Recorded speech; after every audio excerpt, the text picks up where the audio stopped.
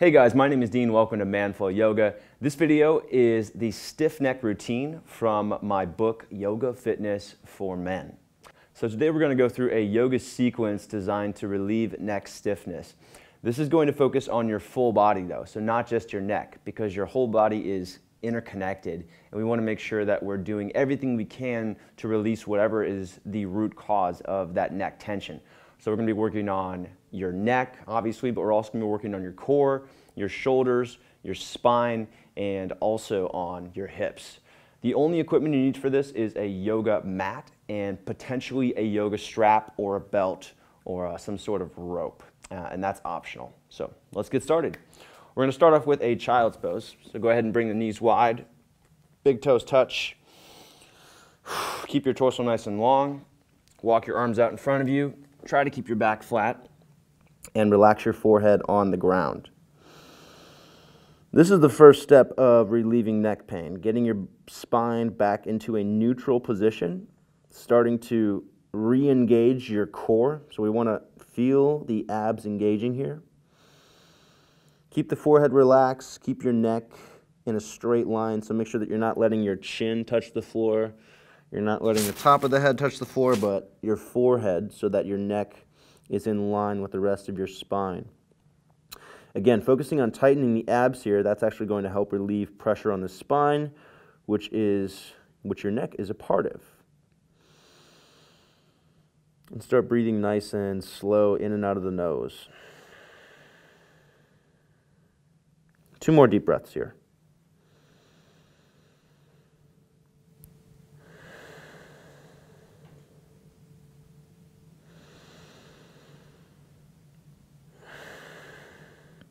And then from child's pose, we're going to move into a plank. So hands under your shoulders, lift up your hips, tighten your core, squeeze your hands and your feet toward one another, and pull your neck toward the ceiling. So we're pulling the neck up and looking slightly forward. This is really important for helping to relieve neck tension because we're starting to strengthen the neck in a way that it typically doesn't do lots of movement during the day. So we spend a lot of time rounding the neck, looking down at our phones. Instead, now we're going to look slightly forward or slightly up to help strengthen those muscles in the back of your neck. Just 10 more seconds here. Make sure you're keeping your abs tight. Engaging your core, strengthening your abs is going to help relieve tension in the back, in the spine particularly. And then go ahead and release your upper body all the way to the ground. We're going to move into a sphinx from here. So flip your feet, press the tops of your feet into the ground, squeeze your legs together, tighten your abs and your hips, bring your forearms to the ground, parallel to one another, shoulder width distant, and then lift your chest up, mostly using your hip and your core strength here. So we're not relying on pushing down through the forearms to get this lift. It's actually mostly coming through the hips and the core. Your arms are just helping to support this. And then we want to pull the neck toward the back, chin toward the throat. So we're making a nice arch with your back, with your spine. And again, this is the exact opposite of what we tend to do during the day, which is sitting inactively with our neck rounded forward. So this is helping, by doing the opposite, we're helping to relieve that tension.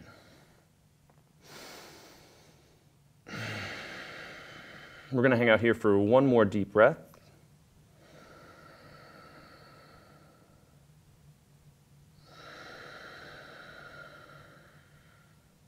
And then go ahead and release back down. And from here, moving it into a thread the needle.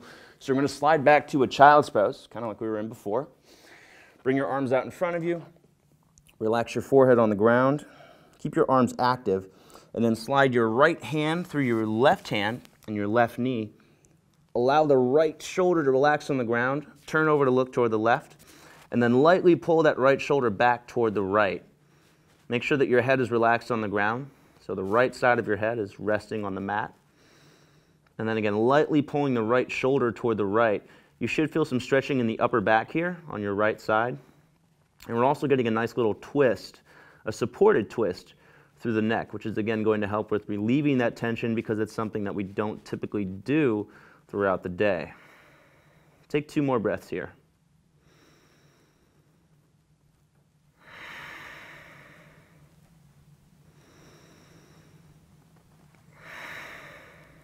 And then go ahead and switch sides. So right hand straightens out, left hand comes through the right hand and the right knee, outside of the left shoulder on the ground. Lightly pull that left shoulder back toward the left.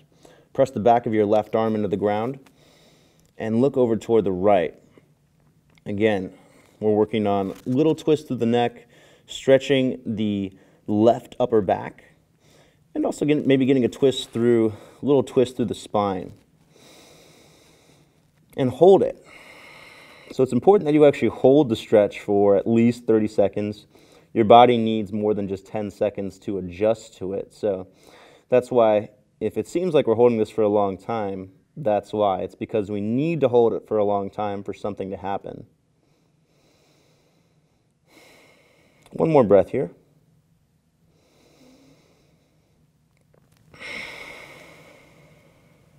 All right.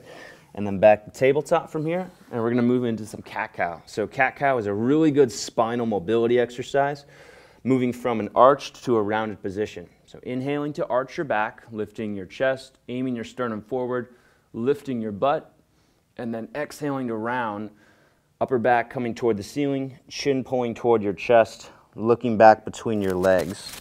Again, inhale to arch, chest dips down, sternum looking forward, lengthening the back of your neck and then slowly looking up and exhaling to round.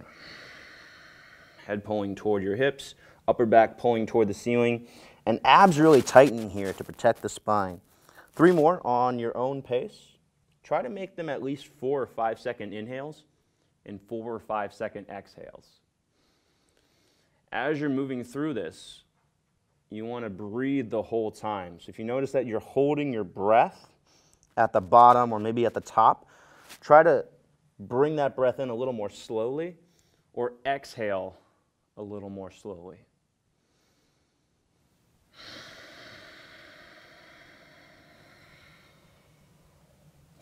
One more of these.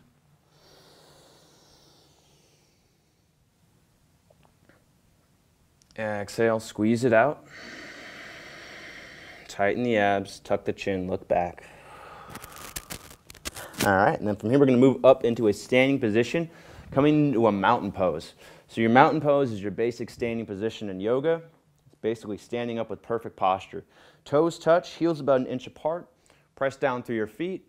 Relax your chin toward your throat. Press the top of your head toward the ceiling. Reach your tailbone lightly down. So you want to just tighten your hips, tighten your core a little bit, and then turn your palms forward. So if you look at me from the side, you'll notice that my neck is pulling backward and my chin is relaxing toward my throat. There's a natural S curve to your spine. You want to reinforce that in mountain. Stay as tall as you can still though and try to keep awareness through your core. So just standing with perfect posture is a really good way to relieve neck pain. One more breath here.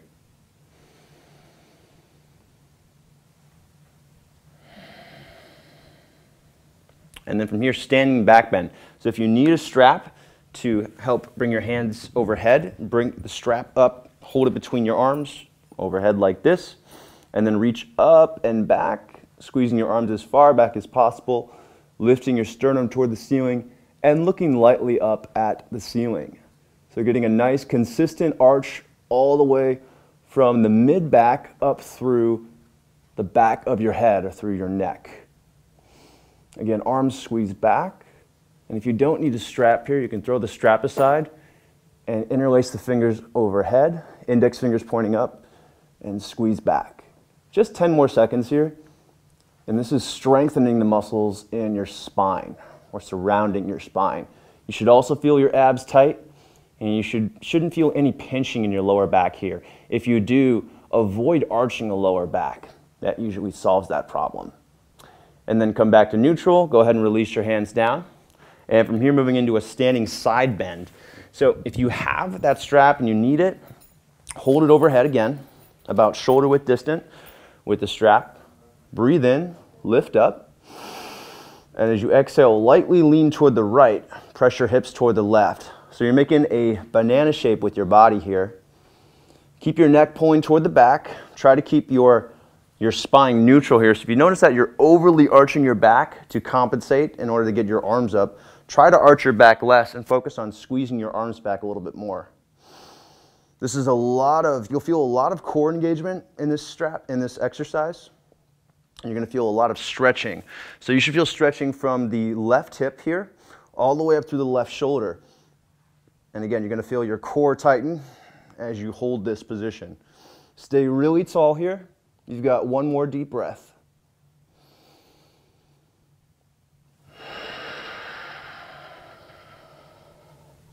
All right, back to the middle. If you want to hold the strap, continue to hold the strap. If you don't want the strap, go ahead and put the strap down. Breathe up, get tall. And exhale, lean toward the left now. Hips come toward the right. Again, staying really tall. So we want to remember height first and then depth. So make your body as tall as possible and then exhale to work deeper into the bend. Again, breathing in and out of the nose, keeping it really controlled. And engage. So this isn't a passive stretch. We want to feel the core tight here. We want to feel the muscles working. We are feeling stretch, but it's supported by active muscle engagement. Maybe going a little bit deeper with the exhale. Last 10 seconds, one big breath.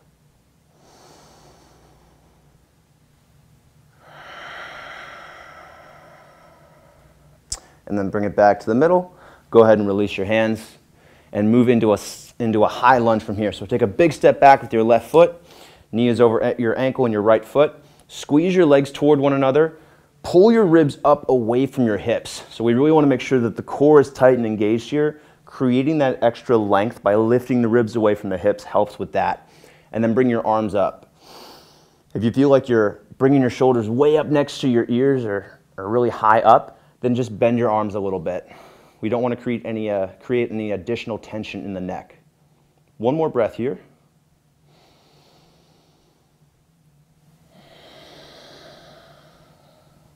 Go ahead and release your arms. Step your left foot up and step your right leg back. High lunge opposite side. Again, legs squeeze toward one another. Pull the ribs up, make your torso nice and tall. Bring the arms up, bend the elbows to help relax the shoulders. And just breathe in and out of the nose here. As you exhale, try to tighten your abs. As you inhale, maybe get a little bit taller. And you're also going to feel a stretch through the front of the right hip here. So believe it or not, stretching your hips is going to help release tension in your spine, and that's actually going to help release tension in the neck as well. One more breath. All right, and then stand back up, back into mountain pose. From here to half sun salutations. So palms facing forward. Inhale your arms all the way up. Exhale, take it into a forward fold. Bend your knees, hinge at your hips. Bring your hands either to the ground or to a block if you feel like you're rounding your back or if it's uncomfortable to go all the way down. And then tuck your chin toward your throat, look behind you. Inhale to a half lift, so use that block. Press the top of your head forward. Try to make an L shape with your body here. And then exhale and fold back down squeezing your thighs, tightening your abs. And then inhale, drop your hips down just a little bit, reach your arms forward, lift all the way up. And then exhale, hands back to center or arms along your sides. One more of those. Inhale back up. Exhale and fold. Hinge at the hips. Keep your back as flat as you can. Bend your knees. Tuck the chin, look behind you. Inhale, do a half lift. Hands come up the shins, or you can use that block. Exhale and fold. Keeping the knees bent so you can focus on a nice stretch through the hamstrings, through the backs of your thighs. And then sit down just a bit. Inhale, reach your arms forward, lift all the way up. And release your hands along your sides back into mountain pose. Nicely done. From here, runner's lunge twist. Take a big step back with your left foot. Bring your hands on either side of your right foot. If you have a block, bring the block inside your left foot and lightly rest your left hand on that block.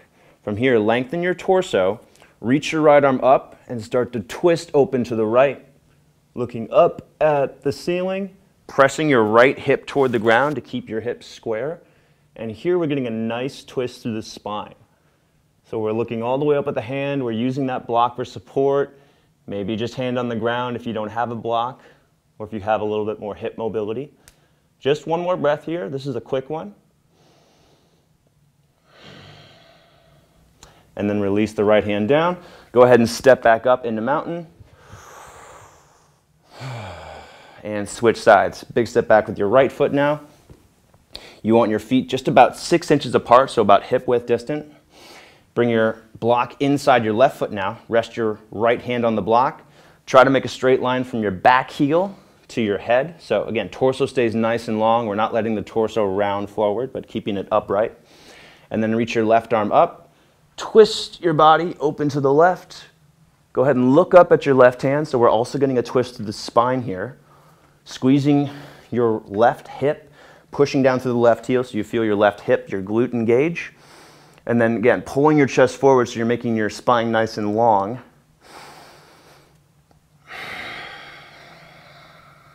And just giving this one more breath. Again, this is a quick one. And then go ahead and release. Step back up, back into mountain. Nice job. From here, take a wide stance. So turn sideways on your mat. Bring a block between your feet, right in the middle. Press into the outer edges of your feet. Tighten your thighs, tighten your abs. Hinge at your hips once more, so keeping your back flat. Bring your hands to the block at first, maybe bending your knees if you need to in order to keep your back flat. And pull your chest forward. So we're gonna work on actually pulling your chest forward and lengthening your spine initially. So kind of like you were doing a plank from your waist all the way up. So abs are tight, we're feeling stretching through the backs of the thighs. We're keeping our ankles active. And then from here, go ahead and fold a little bit lower. So use an exhale, maybe bringing your hands to the ground. If you want, you can also bend your knees to get your hands closer to the ground, or just keep using that block if that is what makes this stretch comfortable. And then go ahead and tuck your chin toward your throat. Tighten your abs like you're doing an ab exercise, like you're doing a crunch. And just hold this for one breath.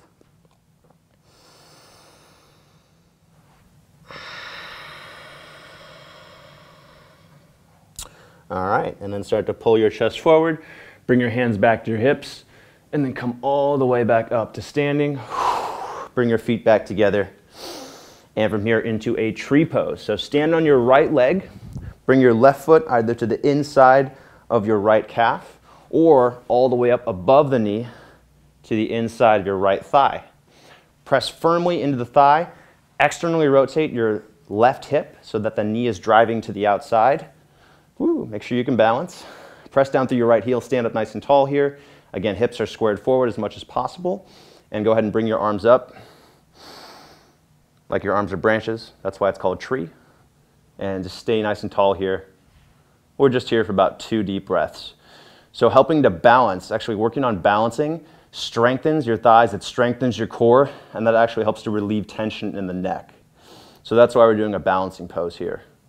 Again, stand up tall, you want to feel your left glute engaging, driving that knee, squeezing it to the outside, and lots of firm engagement through the right leg. Nice and tall through your hips, through your ribs. Go ahead and release down. Plant the left foot. Same thing, other side. Again, put the right foot inside your left calf or all the way above the knee. Make sure that you're not putting your foot into the knee itself. So if you can, bring it all the way up. Again, squeeze the knee to the outside. So you're squeezing your right knee to the outside, but keeping your hips squared forward. Driving down through the left heel, through the ball of the foot, squeezing your left thigh, maybe pressing the hips lightly forward, and then bringing your arms up and just holding here for a couple of deep breaths. Feeling this in your core, your hips, definitely the standing leg, and also through the hip of the lifted leg. One more breath.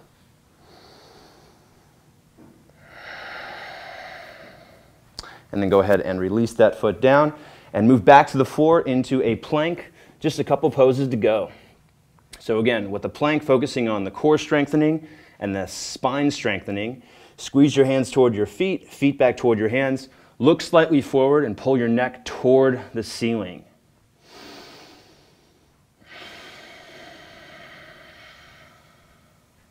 Just two breaths here.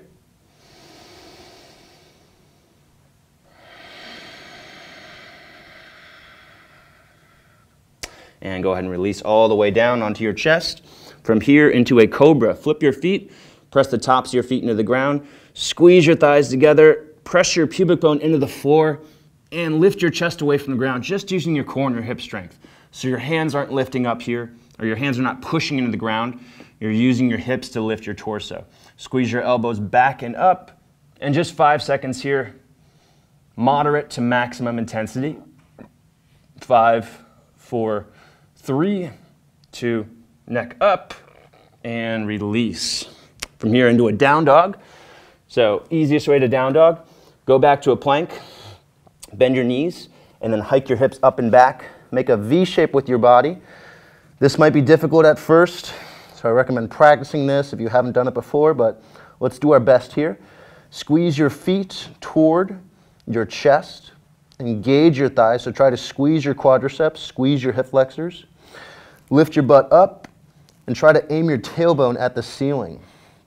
You want to feel engagement through your thighs, stretching through the backs of your, of your legs and your hamstrings and your calves, and also some opening through the shoulders. Tuck your chin toward your throat, so your neck is actually releasing here, which is why we put this pose in this routine. Yes, this is a full body exercise, but it's really nice for allowing your neck to release. So chin relaxed toward the throat, head just kind of hanging here. You can move your head, turn it from side to side, you know, Shake your head yes, shake your head no, and just let it release. All right, and then from here, go ahead and release your knees down. And from here, moving into our final pose, a reclined twist. So flip over onto your back.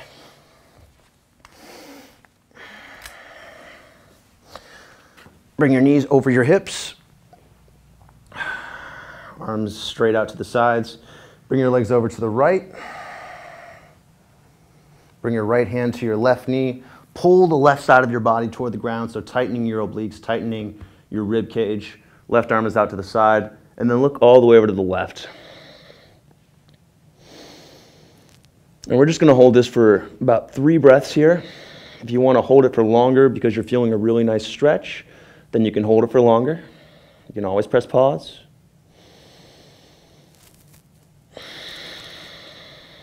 Again, so active through the left side of the body, feeling a stretch from the lower back, maybe up through the mid back.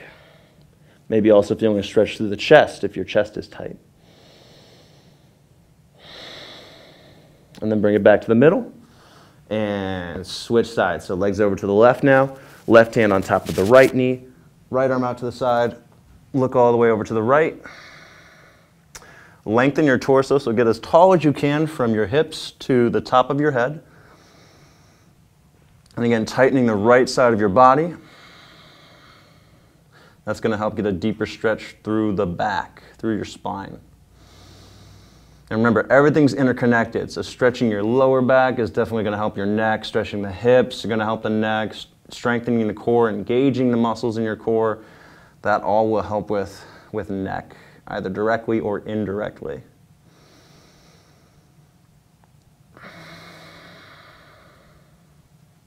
All right, and then bring your legs back to the middle and go ahead and sit up. So that is it. That is the full body work for stiff neck relief. All right, if you enjoyed that video, I want to invite you to take my free seven day challenge. This is a beginner's yoga for men workout series featuring 15 minute workouts and daily emails to help hold you accountable and motivated. This is a great way to learn yoga, to get started, and it's totally free. Sign up at the first link in the description below. When you sign up, I'm also going to give you a free bonus video, a previously members only workout called Head and Neck Essentials. This is a 25 minute workout that's perfect for relieving tension in your head, neck, and shoulders, useful for pretty much any situation. So go ahead and sign up for that seven day challenge. Do it right now. Click that link in the description. I'll wait. And if you haven't already subscribed to this YouTube channel, be sure to subscribe. We put out new videos every week And if you like the video, be sure to like the video, click the like button, and leave a comment if you have any feedback or questions. Thanks again for being here. I'll see you in the next video.